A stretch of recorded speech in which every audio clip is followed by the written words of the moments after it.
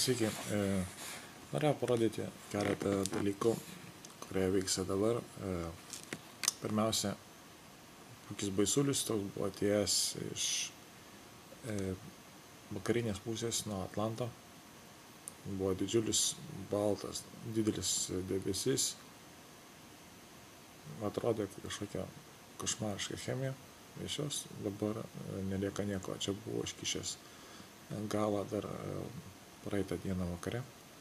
Atrodė visiškai skirtingos konsistencijos. Ir dabar pavirto faktiškai nieką.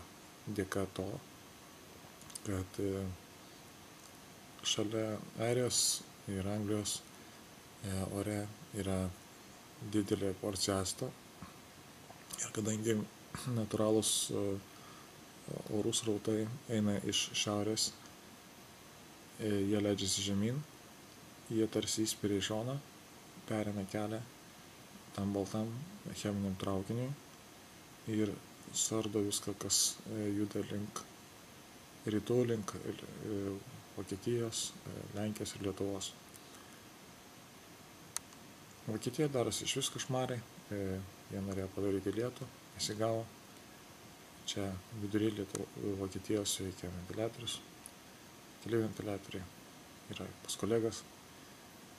Ir visa ta štirtis dabar atrodo kiek kitaip. Visą laiką dinksta chemija ir ji nenukeliauja toliau į Lenkiją ir Lietuvą.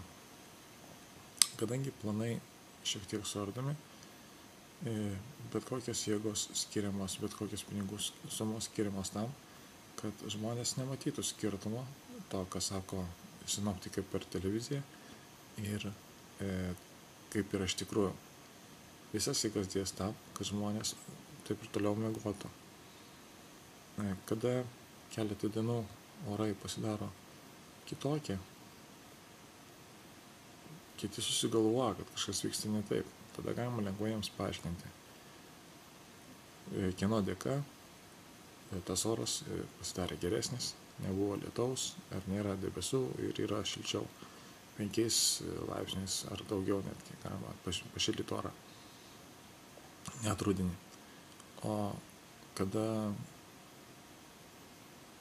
jau mato, kad neišeis šito padaryti, tada papildomas chemijos gauna iš kitur, iš visai šalia ir dideliem porcijom, kas dabar darosi apačioje pietuose Lenkijos, pačioje Lenkijoje ir paskui kas keliauja į Lietuvą. Todėl e, dabar visiškai pilnai galiu pasakyti, išbandęs labai ilgą laiką ventiliatorius, darykite juos, pasidarykite nedidelį maišelį, maždaug e, pripilkite birių kristalų, e, kaip kalnų kristalų nuolaužų, rožinio kristalų nuolaužų maždaug būtų, kad nuo lasdino riešto dydžio iki graikiško riešto dydžio arba didesni. Padėkite šį maišelį po ventiliatorium, faktiškai tiesiai po tą vietą, kur sukasi spiralės. Ir spiralę susukite taip, kaip parodyti filme, tik tai pačius žiedus pasitenkite padaryti nuo 10 iki 15. Jeigu pavyks, padarykite ir daugiau. Tai tik tai matot, nuo greičio tos spiralės e, pakeičia savo kampą ir šiek tiek gali įsiskleisti šonus, aišku, efektas nesumažės. Galite tokį ventiliatorių tada paguldyti nuo varos arba šiek tiek pas, pasukti kampu ir palikti. Kada ateina toks baltas baisulis, chemijos rūtos, jį nustatyti geriausia būtų į tą pusę, dar gerokai anksčiau negu jie ateis iki jūsų, palikite kokius 2-300 km iki to srauto, ventiliatorių nustatykite į horizontą, gerai būtų, kad priešas jį nebūtų jokių namų, medžiai gali būti, ir palikite. Jeigu e, namas stovi prieš jūs, prieš langą, tada pate, pakelkite ventiliatorių taip, tarytum jisai turėtų matyti virš namo, dangų. 30 ar 45 laipsnių kampu. Jisai turės efektą irgi šiek tiek pakeis debesų sudėtį ir gali sustabdyti lietų. Padarykite tai ir pamatysite efektą.